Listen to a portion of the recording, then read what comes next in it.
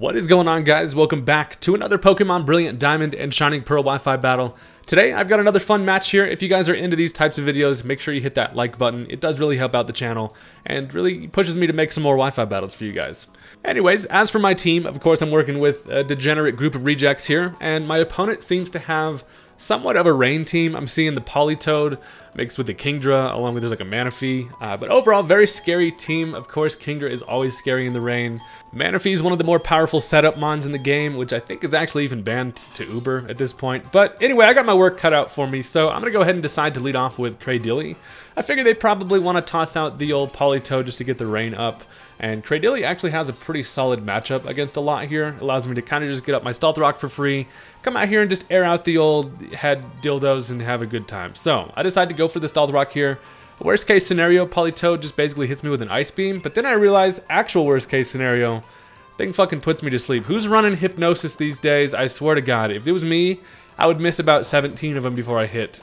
Um, but it does put me right to sleep, and you know, that's kind of annoying. Now, it's not horrible. I know that, of course, Ice Beam will hurt. It's super effective, but I'm, you know, kind of a designated special defense wall here, so I can take a few of them.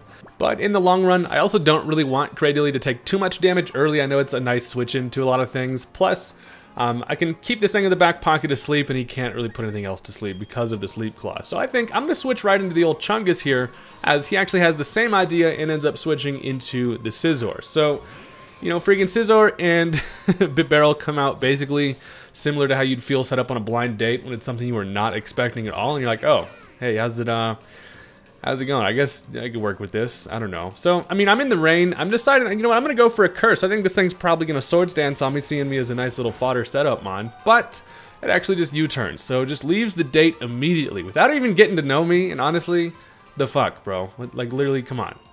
but they decide to switch into the Toxic Toxicroak here. Uh, that's unfortunate. Knowing that there's a Toxicroak around uh, kind of really hinders the Bibarel's ability to really do anything just due to the fact that this thing does have the dry skin ability. Homeboy needs some lotion, and I cannot hit it with a water attack. So I do get my curse up, and of course with my simple ability that sets me in a nice plus 2 attack, plus 2 defense, minus 2 speed. Now ordinarily this would be a decent time to get off an Aqua Jet, but not today against this dry mofo. So I decide, now this is a little bit of an interesting play. I'm going to end up going into the Frostitute here. Now, Jynx doesn't look like she's going to be able to do a whole lot in this match. Of course, it would be nice to keep her around, but I decide that I'm essentially just going to sack Jynx here.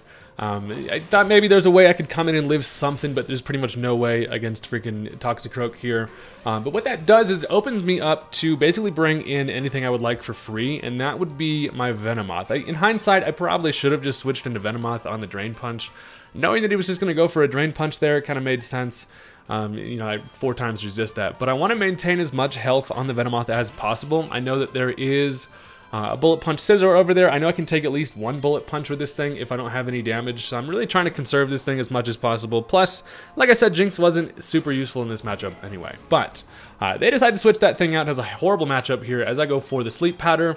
And it misses, because why would I be able to get some free momentum anytime in my life? But uh, I'm just going to go for it again here, as they actually actually end up switching into the Manaphy. Now the reason for that is because this thing's ability in the rain, it will immediately heal itself. So it gets put to sleep, put to put down for a nice little nap, and then boom, woke right back up.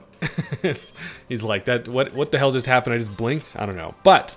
I predict this thing to go for the tail glow here. Now, this is pretty much what Manaphy does. It gets that tail glow, even though I mean, his, his head has a tail, I guess. I don't really know what's glowing there, but I decide to go for the Quiver Dance knowing that it's going to do that. Now, this allows me to now be faster, and I'm looking nice and scary with my nice special attack boost. So the rain actually goes away this turn, and this allows me to put this thing asleep without the support of its stupid little raindrops. It's going to stay asleep. So I go for the powder. I do actually hit it.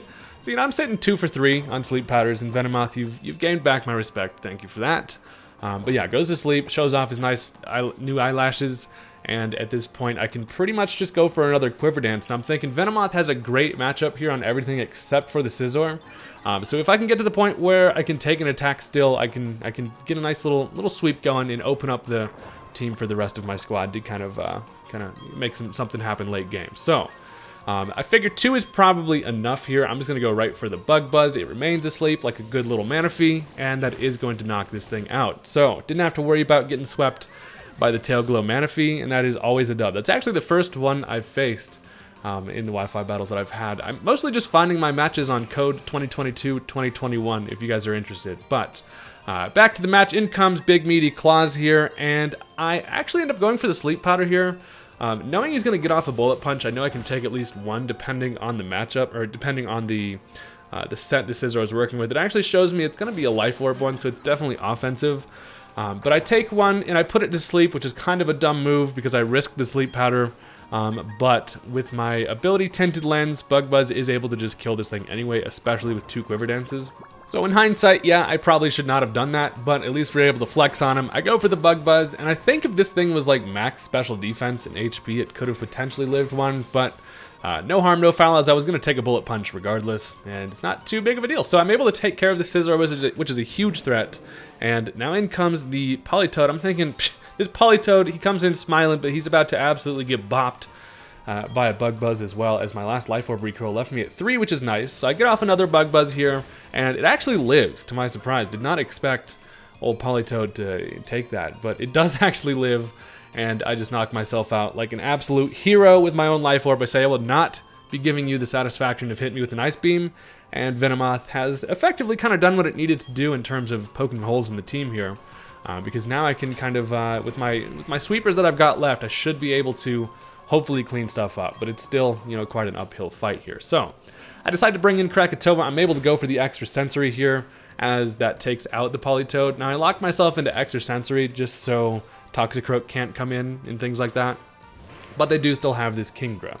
Now the Politoed being dead is amazing because now that thing cannot come in and just set up the rain again. So the rain that they've got is going to be the last rain for the match. So the Kingdra's kind of got to work with what it has here. And luckily I do still have Cradily in the back specifically for this Kingdra. Um, it is kind of forced to go for a Draco Meteor rather than a water attack because I am um, Storm Drain. So I would suck up some water moves and it kind of just has to go for the Draco Meteor there, unless it had Dragon Pulse or something. But uh, it does a lot of damage, but with a special attack drop, it's looking pretty nice if this thing wants to stay in. It's not too big of a deal. Um, I'm just going to stay and go for a nice little Stealth Rock here. He actually misses a Draco Meteor, which you hate to see, but really not too big of a deal as I just, you know, stay in asleep. Cradily, you useless asshole, wake up, man. This is not time for a nap here. I could really use some Stealth Rock support. Um, but they decide to switch out the Kingdra. They're like, all right, I'm not going to try that again. That did not work out for me. And Toxicroak has a, a better matchup. So I do actually wake up and I get up the Stealth Rock. So setting up them late game Stealth Rocks is not usually too bad. Um, it's not great specifically in this matchup, but Cradily really didn't have much I could do anyway. So I'm able to wake up at least, and that's kind of nice. So I definitely do not have anything that wants to switch into a Drain Punch. Uh, so I have to let Cradily go down here. Now that is wildly unfortunate because it's my best answer to that Kingdra. So unfortunately I do have to lose that thing. I probably could have played around with that Cradily a little bit better. Uh, but Toxicroak's out here just absolutely soaking in the rain, back to full health and now I get a free switch. So I go I go back into the Typhlosion. Now, honestly, having extra sensory on this set never comes in handy until the one time you're like, thank God I have extra sensory. uh, so I decide to go for that. Of course, I'm Choice Scarf and I'm able to outspeed, um, but they are just going to switch right back into this Kingdra. Keep in mind, Rain turns are slowly whittling away, so Typhlosion could outspeed this thing uh, pretty soon here. Plus, I do have the Slaking specifically.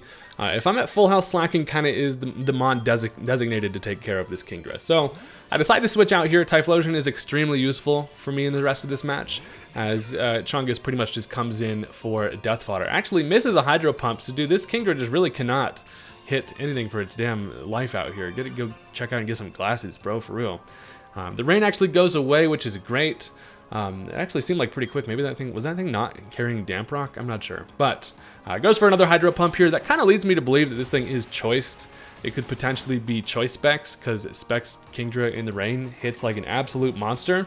Uh, but Chungus goes down. Unfortunately, I, I probably should have gone for an Aqua Jet just for like extra damage there, just because.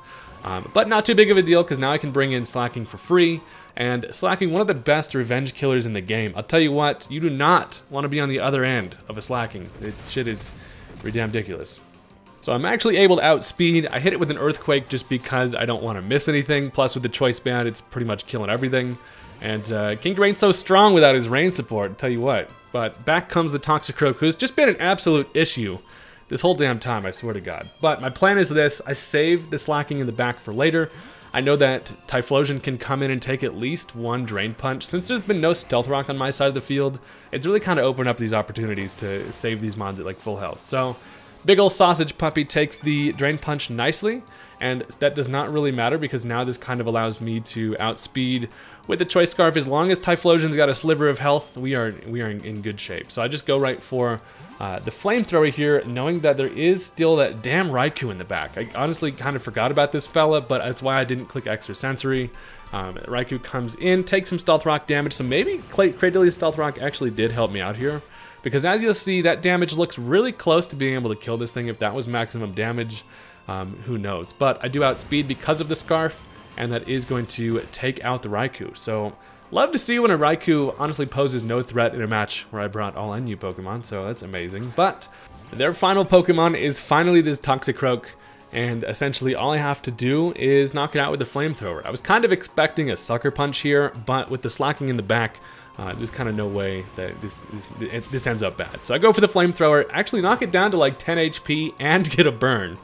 So my bad about the burn, but it goes for the Drain Punch, and with the burn, I'm actually able to live it with 7 HP, which is kind of amazing. Um, and also with its recovery, it's not going to die to its burn damage, plus the Life Orb, so that's kind of kind of like, damn, this Toxicroak really hanging on till the bitter end over here, I swear to God. Uh, I go for one last flamethrower, but it shows me it's got the Sucker Punch, and that does actually knock out Krakatoa. Um, so I kind of was not expecting that. but uh, unfortunately for him, Life Orb is going to take it out, and since I do have the Slaking in the back, I am going to be able to win this match 1 to 0. So I thought that was quite an interesting game there. It kind of didn't really go how I expected it to, and there's definitely some bad plays on either end, but that's kind of just the way it goes. Wi-Fi matches are always different, and that's that's why we play the game, boys. Thank you very much for watching. As always, hit that like button and leave a comment. I do appreciate all your guys' uh, interaction with the videos. Thank you very much. Peace out.